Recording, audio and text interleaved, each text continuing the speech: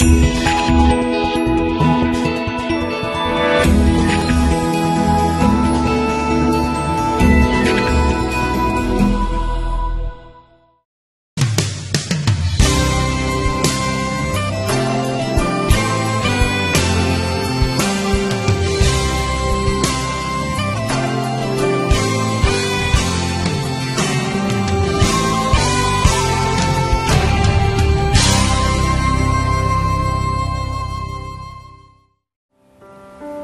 God, you are our God. And we pray for the grace today to have hearts that would earnestly seek after you. We ask for the gift of having souls that thirst for you. We have looked upon you in the sanctuary, and we ask that you would open our eyes so that we would behold your power and glory, because your steadfast love is better than life. Our lips will praise you. So we will bless you as long as we live, and in your name lift up holy hands. Satisfy us today with your unfailing love, that we would sing for joy and be glad for all our days. Father, we pray for your grace to cover over us right now with your Spirit's presence and power, softening hearts to encounter the living God so that we would gladly surrender before you, for we belong to you.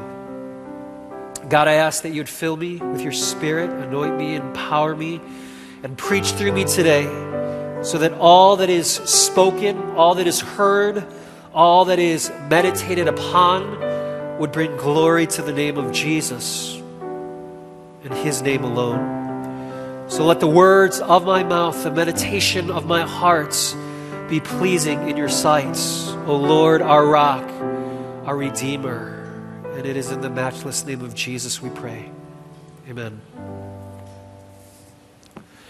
You know, many years ago, I came to guest speak for OEM long before uh, I even realized I would be a part of OEM uh, in this capacity. And it was when OEM used to worship on the fifth floor of the building next door in Gyeongchan Hall. And while I was there, it was very memorable for a number of reasons. In particular, uh, I was really struck by the prayer team that was interceding for me during the sermon. Now, I've often had, uh, you know, worship settings where people would be in prayer and prayer teams would be in prayer for me. So that wasn't the peculiar part. Uh, it was very clear that members of the prayer team were praying for me. And how did I know this? Uh, because uh, a couple of things stood out to me during that service. Number one, they had a, quite a number of guys on the prayer ministry team. And unfortunately, that is rare, uh, and I hope it will not be rare uh, much longer. Uh, but they had a lot of guys on the prayer team, and that was a blessing to see. But the other thing that really stood out was those guys on the prayer team, they were all spread around, uh, spread out at the back of the sanctuary wall, lifting up their hands in prayer for me during the sermon time. Uh, and can I tell you, it was probably one of the most encouraging things that I've ever seen uh, while I was preaching. You know, normally you, you'll see people falling asleep. Uh, but these guys were engaged in intensive intercessory prayer for me. Uh, and, you know, as they were hands lifted and praying earnestly for me, uh, I was so encouraged, it made me want to preach as long as possible.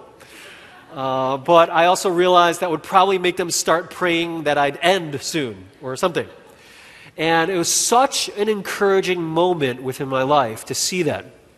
It was a visual reminder of the continual prayers that were list, lifted up on a constant basis. And obviously, that brings up memories for us of when Moses also was interceding for Joshua and the Israelite army when they were doing battle in Exodus chapter 17 against the Amalekites how Moses' hands were lifted up, and when his arms were lifted up, the Israelites would be winning the battle. But obviously, his arms got tired, and so when he would lower his arms, uh, then the Amalekites would start to win. And so the people who were next to him, realizing this, Aaron and Hur, they each took one arm each and they would lift it up to help support Moses as he prayed for victory. And so, as his arms were lifted, ultimately they won the battle. That was a powerful picture of intercessory prayer for the people of God, and especially for spiritual leaders. You know, we start a new series today, and with a couple of guest speakers interspersed within the next couple of months. Uh, but this ne- new series that we're starting from today is on how to pray for your pastor. Now, it's something that I planned on doing later on in this year, the latter portion of this year. But, as I mentioned a few weeks ago, in light of the intensity of the spiritual warfare that has increased uh, for most of this year for my life, uh, for various reasons. Uh, one, with the release of my book, Justice Awakening, uh, which will equip the church to be engaged in one of the fiercest spiritual battles of any generation. I knew that that would instigate more warfare. Uh, but also for a lot of other reasons, there has been an increase in resistance and friction in the direction that I feel God wants to lead our ministry. And so, out of necessity, and even, dare I say, out of desperation, I felt the need to move up this series uh, as soon as possible. Uh, why? Because, in short, I need your prayers, and our leadership is in need of your prayers. And so we'll begin today by going over why pastors need intercessory prayers. And for the next several weeks, next couple of months or so, Lord willing, uh, I'll be giving you very practical ways that you could be in prayer for me and the pastors in your life. And uh, it was a great reminder. After the morning service, there were a number of people who came up to me saying, Eddie, it was a great reminder uh, for us to know that you need prayers. And I was like, well, thank you. Uh, and they were saying, because usually the mindset that I had some people said in the morning service was, I need to go to you, Pastor, to receive prayer, and I forget sometimes that you also need prayer. And so hopefully after today and after this series, that mentality will change. So open your Bibles to Romans chapter 15, uh, and we'll explore today why pastors need intercessory prayers. You could follow along with me in your outline that I provided for you as well. So, why do pastors need your prayers? And why should we pray for them? Well, first of all, because God calls the church to pray for her leaders. So everyone repeat, pray for her leaders. All right, so that's where we need to begin. Why do we pray for our spiritual leaders? Because God calls us to pray for the leadership. So the church has a vital role to play in the strengthening and the supporting of its pastors through prayer. Paul understood the importance of this intercessory relationship, and so he would frequently ask the churches that he is writing to throughout the New Testament for prayers from them. One example is found in Romans chapter 15, verse 30, as he is writing to the churches in Rome and how they can partner with him in his ministry in this capacity. Romans chapter 15, verse 30 says, I appeal to you, brothers and sisters, by our Lord Jesus Christ and by the love of the Spirit, to strive together with me in your prayers to God on my behalf. And so Paul is asking uh, for prayers from the church in Rome to pray for a successful journey for his ministry in Jerusalem. So let's look, unpack this verse a little bit. There contains actually a lot in this short verse and a lot of crucial theology for us to understand. So he says, I appeal to you, brothers and sisters. So I urgently request that you listen to what I have to say right now. So I appeal to you, brothers and sisters, by our Lord Jesus Christ. So the basis of our prayers are to be grounded in the person and the work of Jesus Christ. You see, we have access to the Father in heaven in the place of prayer because of what Jesus did on the cross. He made a way for us to have access and to have adoption into the arms of our Father in heaven. You see, what distinguishes Christian praying from all other types of praying that is not uh, grounded on Christian belief is that we are not trusting in the work of prayer to gain the ear of our God or the acceptance of our God.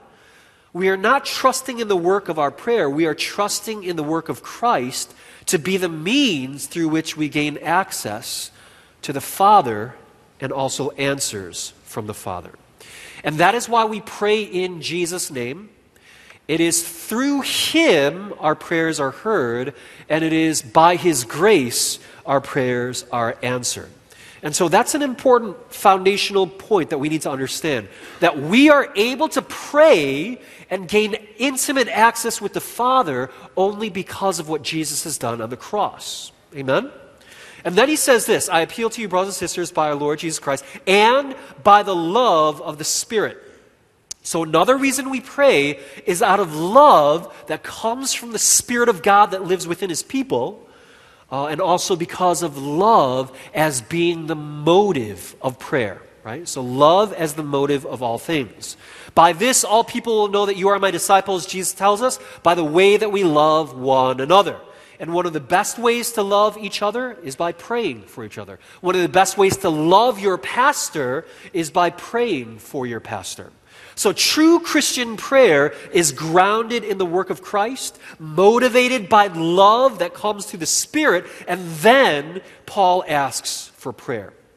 Verse 30 again I appeal to you, brothers, by the, our Lord Jesus Christ and by the love of the Spirit. This is the basis of his request. Okay? He is the foundation of why he's asking for a prayer. Through Christ, by the love of the Spirit, then he says this Strive together with me in your prayers to God on my behalf. So it's important that this striving is an overflow of faith in Christ and out of love in the Spirit.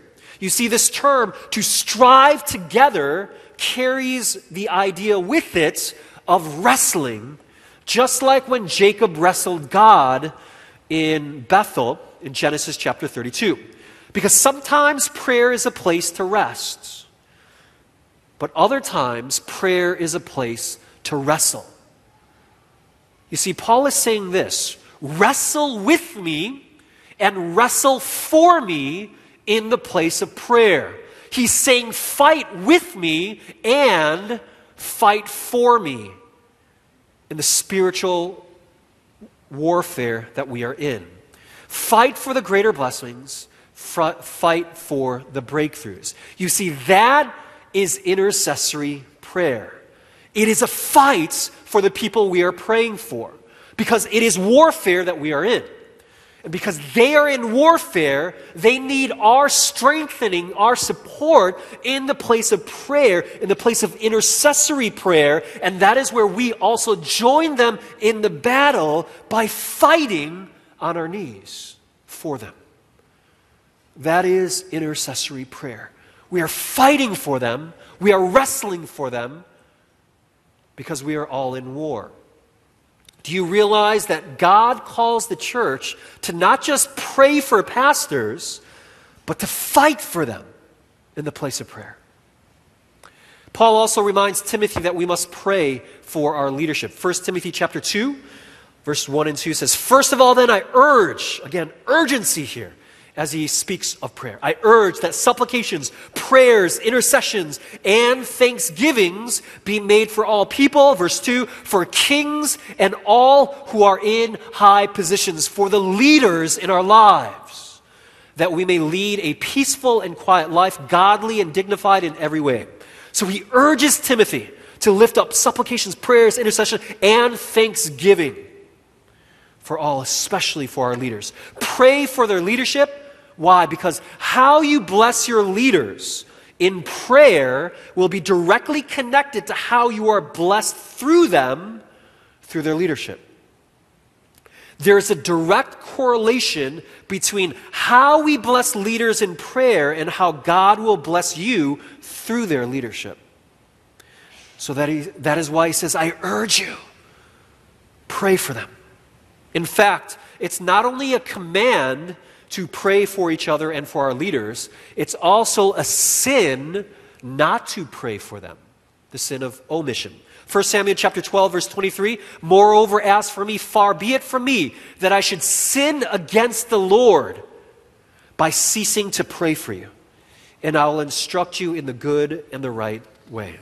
So this is the prophet Samuel speaking to the servants of Israel, reminding them that he will always be in prayer for them, because to not pray for them would be sinning against the Lord.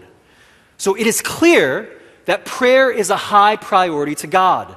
And especially praying for our pastors and spiritual leaders is utterly important to God. God calls the church to pray for her leaders. Amen? Now we want to look further into the reasons why we need to be in prayer for them.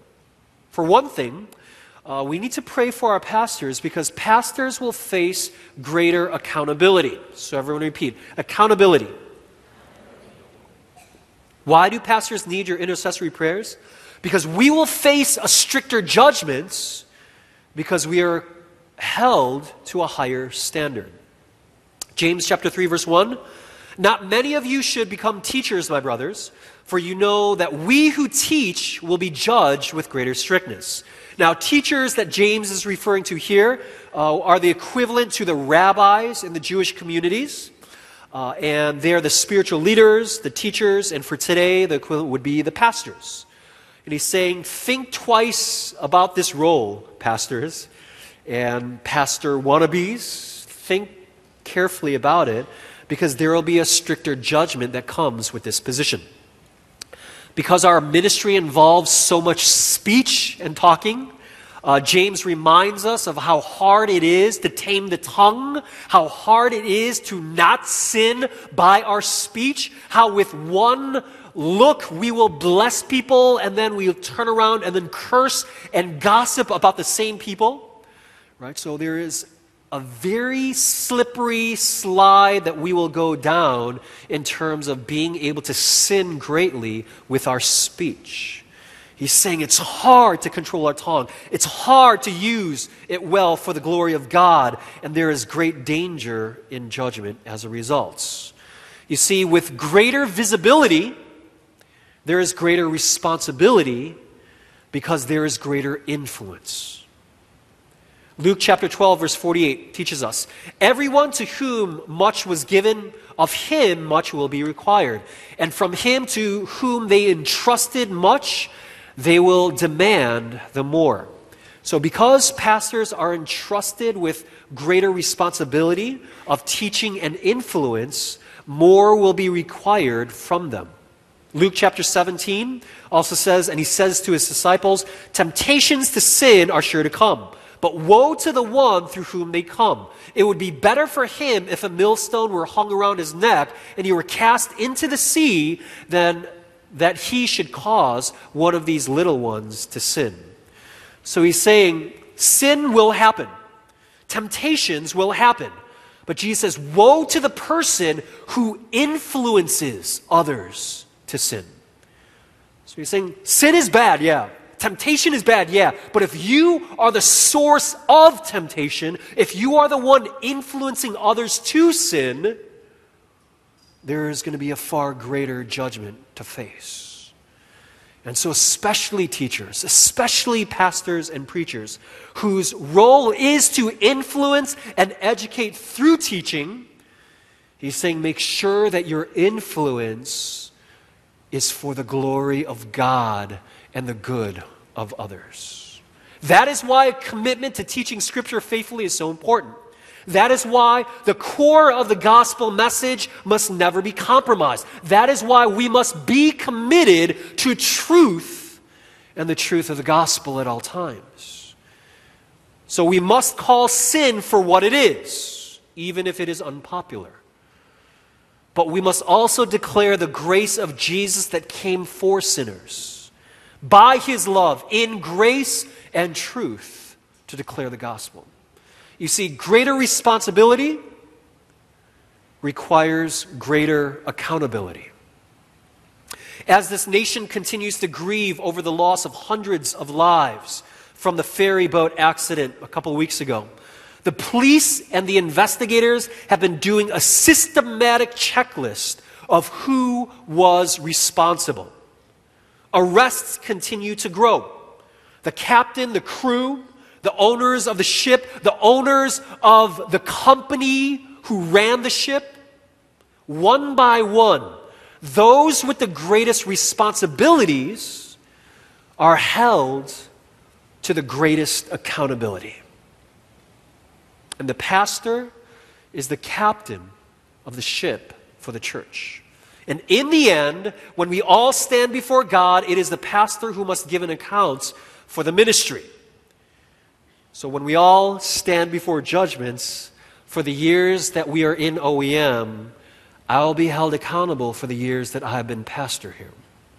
And that is why I need your prayers, and that is why I need your supports. And that is why Hebrews 13, 17 says, Obey your leaders and submit to their authority because they keep watch over you as those who must give an account. Do this so that their work will be a joy, not a burden, for that would be of no benefit to you. It is hard to lead, it is lonely to lead. So it is important to support those who lead. Amen. So that's one crucial reason why pastors need intercessory prayers. And another reason why we need to pray for our pastors is because pastors will face greater attacks. So everyone repeat attacks. Right? Pastors will face a lot more warfare. And I can testify to that. 1 Peter chapter 5 verse 8 and 9 says, "Be sober-minded, be watchful. Your adversary the devil prowls around like a roaring lion, seeking someone to devour. Resist him, firm in your faith, knowing that the same kinds of suffering are being experienced by your brotherhood throughout the world." So Peter says, Be sober minded, be clear in your thinking, be watchful, do not be dull, do not be ignorant about the facts that we are in spiritual warfare. Do not think it is vacation time when we are in the middle of war. This is be sober minded, be clear in your thinking, understand that we are in warfare. That there is an enemy, the devil, who is looking to devour and destroy the people of God, especially through the spiritual leadership. Peter Wagner says in his book Prayer Shield make no mistake about it, the higher up you go on the ladder of Christian leadership, the higher you go on Satan's hit list. Satan is more specific, persistent, and intentional when it comes to pastors and other leaders. Consider these figures compiled by the Schaeffer Institute several years ago. Uh, these were uh, surveys that were done to several thousands of different pastors within the United States. Now, keep in that mind, this is just the U.S. 90% of pastors reported in the survey of working between 55 and 75 hours per week. Now, this is the U.S. If this survey was done in Korea, 55 to 70 hours per week, that's part time hours. 90 percent feel that they are inadequately trained to cope with the ministry demands. They felt that seminary did not train them properly for the real life ministry battles that they are encountering. On their health and well being, 70% of pastors constantly fight depression. 67% of pastors are extremely overweight, above the overweight standards even of the regular population in the United States. 50% of pastors feel so discouraged that they would leave the ministry if they had another job lined up right away. On, cons- uh, on marriages and family, 80% believe pastoral ministry has negatively affected their families. 80% of spouses feel the pastor is overworked. 80% of spouses feel left out and underappreciated by church members. On church relationships, 40% report serious conflict with a parishioner at least once a month. And the number one reason why pastors leave the ministry, church people are not willing to go are not willing to go in the same direction and support the leadership of the pastor. So the pastors believe God wants them to go in a certain direction, uh, begin certain ministries, and the support, participation, and encouragement by the church body is not there. That is the number one reason why pastors leave. And on longevity, 50% of ministers who start out in ministry will not be in ministry five years later. Only one out of every 10 ministers will retire as a minister. Just 10%. And get this over 1,700 pastors leave the ministry every month due to burnout, moral failure, discouragements, depression. 1,700, and this is just in the United States. Over 1,300 pastors were fired by their local church each month, most without cause. So, chances are the pastors that you know in your life are tired, beaten up, and discouraged. The late Peter Drucker, one of the leading uh, management authors of the business world of our generation, he once said that he believes church leadership to be the most difficult and taxing roles in existence. He said bluntly, the business world is much easier than the church world when it comes to leadership. One reason, out of many, he believes, is because in business, you can go home and leave your work behind. But when you are a minister, you are on call 24 hours a day, 365 days a year. When you run into anyone that knows you're a pastor, it is time to give and pray and counsel and encourage no matter what time of day it is, and especially late at nights. When crises happens, the minister is usually the first that they will call. And so that leads to extremely high stress levels. The pastoral position is one of the highest professions for heart attacks. They're pulled in so many directions. They're expected to be an expert in almost every field of study. They're, they are expected to have memorized the Bible and be able to know what the Bible says about any topic that ever comes up. And they're expected to be able to create a sermon on demand. You just press their belly button, and somehow a sermon will regurgitate. And also, they experience what is called secondary stress disorder, meaning because of the intensities of the counseling situations that they go through, uh, it's usually intense you know, situations of uh, marriages breaking down, suicidal thoughts, or runaway children, and all these intense, stressful counseling situations that they go through. Uh, the surveys also discovered that pastors are one of the loneliest people in the world because their church people do not see them as humans. Uh, they have to be supermen, superwomen, uh, be able to handle anything, any problem, and solve it. no sleep. It's okay, right? You're a pastor. You don't sin. You don't need to rest. You don't need to sleep. You don't need anything, right? You don't need money. You're a man of God, right? So, all of these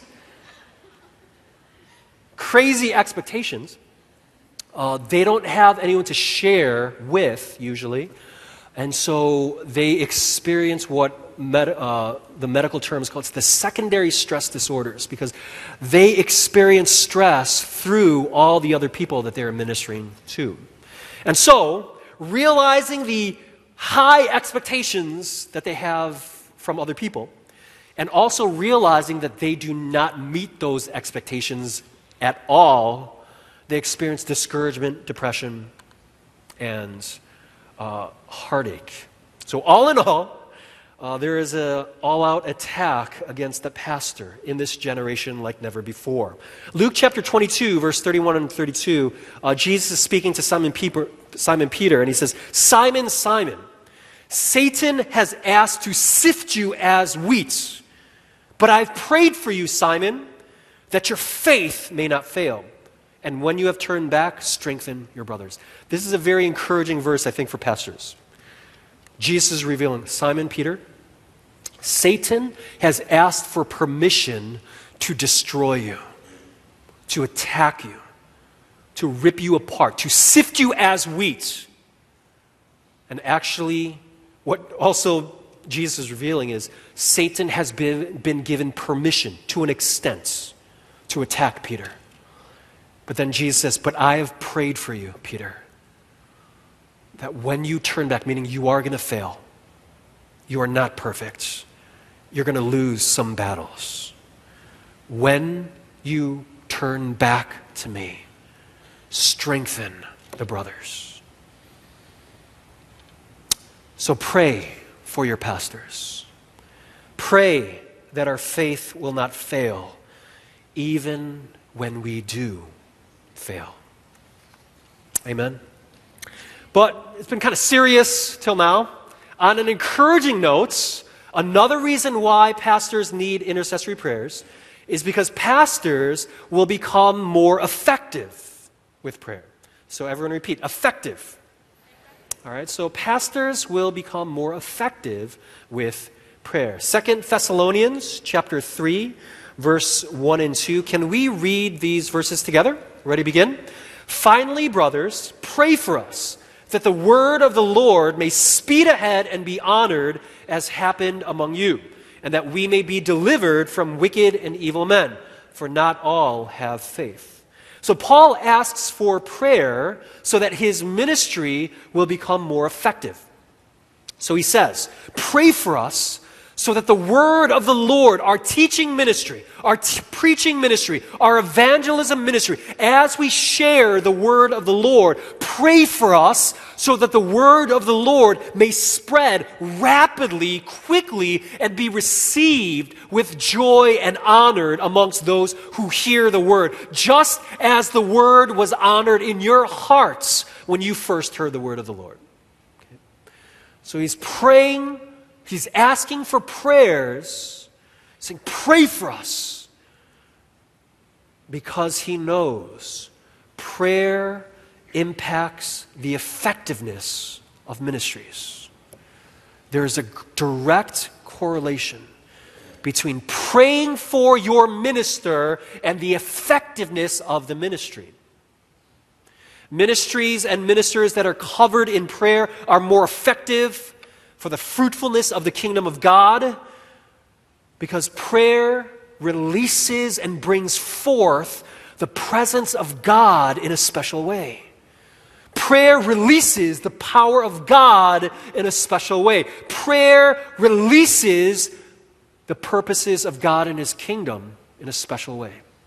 Whereas if prayer was not there, the effectiveness would not be as much. And so, for the church, you need to understand that this is a win win situation. When pastors are well prayed for, the leadership is more effective, and ministry is more fruitful, and you get blessed because anointing flows from the top down. There was a fascinating study done on intercessory prayer for the pastor several years ago. Uh, and this was the study. Intercessors trained through the Everna Tompkins Ministries of Scottsdale, Arizona, in the U.S., agreed to pray 15 minutes a day for one of the 130 pastors and spiritual leaders within their community over an entire year. And part of the study also had some people praying every day, some people praying weekly, some people praying monthly for these pastors and spiritual leaders and they did a survey. Uh, they did the experiment and they did the survey for the, the pastors prayed for before and after uh, this year experiment. These were the results. About 89%, almost 90% of those surveyed indicated that the prayers had caused a positive change within their life and their ministry. They reported more effectiveness in their use of spiritual gifts a higher level of positive response in their ministries as they were teaching and preaching and uh, creating new ministries. The response of the people were far more fruitful than in years past. They saw an increase in discernment and wisdom from God, increased wholeness, completeness, and security in Christ, improved attitudes and more evidence of the fruit of the Spirit, better personal prayer lives, and heightened leadership skills. And the research uncovered one crucial variable. They found that daily prayer for leaders were more effective than weekly or monthly prayers for their spiritual leaders. So, what became evident through this experiment is that prayers make a difference in the lives of pastors and churches. Pastors become more effective with the covering of prayer by the church. Your prayers, daily prayers, will only have a positive effect on me, our staff, our church, our ministry, because prayers are powerful. Prayers make a difference and prayers will bless through you, and those blessings will come back to you.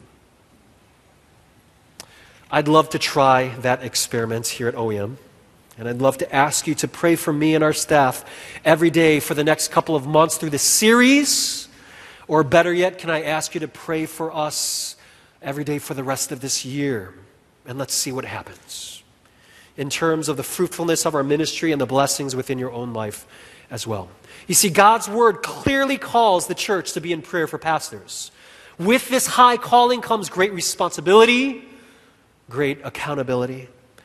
But the enemy is out in full force to destroy and remove pastors from their place of leadership. Because when you strike the shepherd, the sheep will scatter.